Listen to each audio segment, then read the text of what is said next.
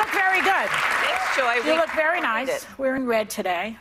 Um, so you're working for um, the Donald. Well, this is my first time back in 13 years. I was here on the first season of The Apprentice. It's good to be back. And my, my mentor, and who I call my, the, the legend of TV, Barbara Walters, was here when I last was here. And it was an honor to be here. That's right.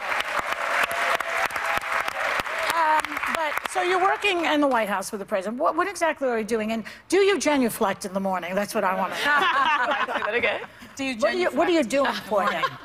So uh, I am director of communications for the Office of Public Liaison, and really we are the face, the coordination between the different groups that want to have a voice and to inform the policy that's happening with this administration. And so I'm honored to serve all of the different groups who want to engage with this administration. In fact, right now I'm planning our Black History Month program, and it's going to be extravagant.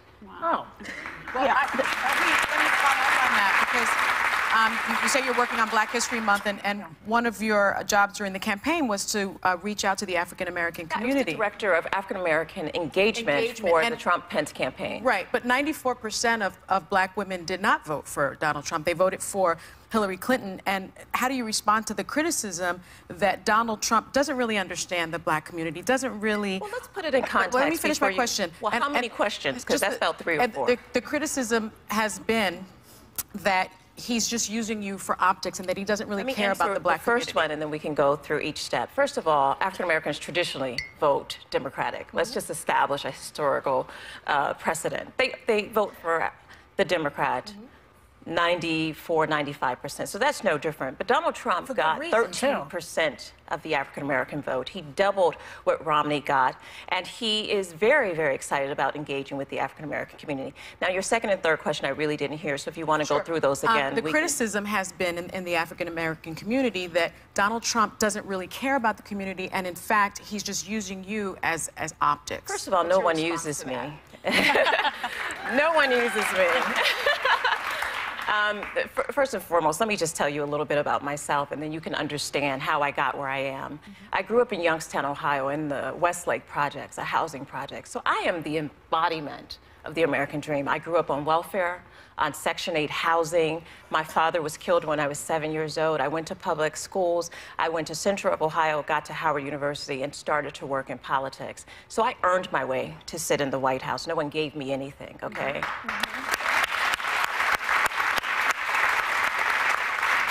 And I think that um, when you start talking about the African American community, you know, the last administration decided not to aggressively do African American outreach. They felt that if they helped all Americans, then the black community would be helped. And that, you know, that really isn't the approach that we're taking.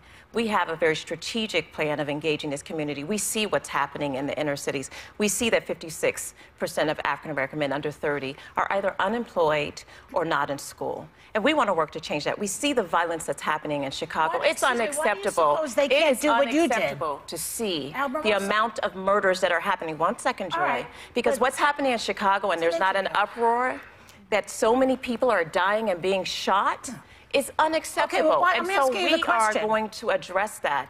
And this president already this he's week talked about tweeted about Chicago. He talked about Yeah. wanting to bring I want him to government. do anything there is to do to make sure that no family goes through what my family went through. My brother was murdered not even five years ago, shot dead in his own home. When I see these families in Chicago, seven or eight hundred families had to go through what my family went through. I had to sit in the courtroom with the man that murdered my brother. This is more than just politics. For me, Joy, this is my passion. I understand what you're saying. I'm questioning why do you think you were able to make it and all these other people could not? You know, that's a bigger question than for Well, a does three-minute Does racism have anything Joy. to do with it, for Um, instance? And, and there are a lot of historical things that has happened that you, that other people could answer. I'm going to tell you about my life and my But why do you experience. think President I was Trump- able to make it. One why do you think Pre- Gretchen. why do you I was able to make help? it because my mother made sure that we were in the church, that Christ was the head of our lives, that education was at the top of every mm-hmm. single thing that we did. I think and quite she common kept amongst us the out black of community. trouble and out of the street. Yes. And that's why I made. I can't speak because we're not all a monolith. The African American community is so diverse.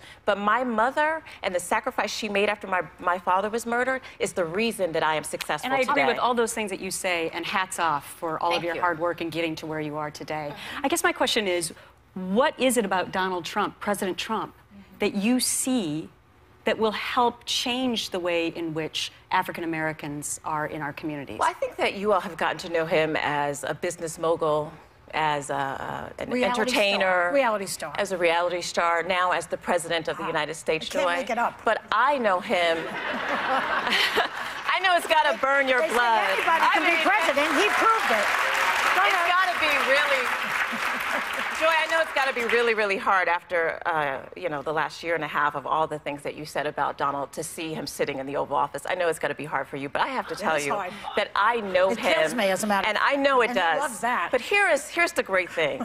You all know him as the president. I know him as a friend.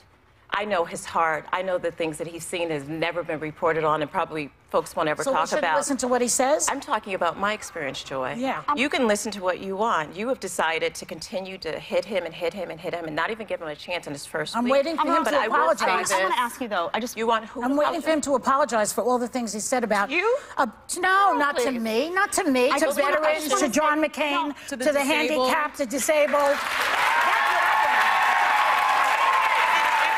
I think the message. I think the message that the message that he has about personally about school choice, about opportunity, about jobs. I think that message did get to a lot of people, and that's why a lot of African Americans, a lot of people who were in poverty, people of all genders and races, came out. My my issue is African that. Americans did not come out for Donald They Trump. came out more than they had for Republicans in the past, and that They means did. something. And you have to give some credit to that, 95% Sunny. of women Let did Jed not. finish. I But think- I let know, Jed but also the have to move from campaign now. He's the president. Right, We're no longer here's the- here's the- campaigning, here's so those same lines don't How do you bring anymore.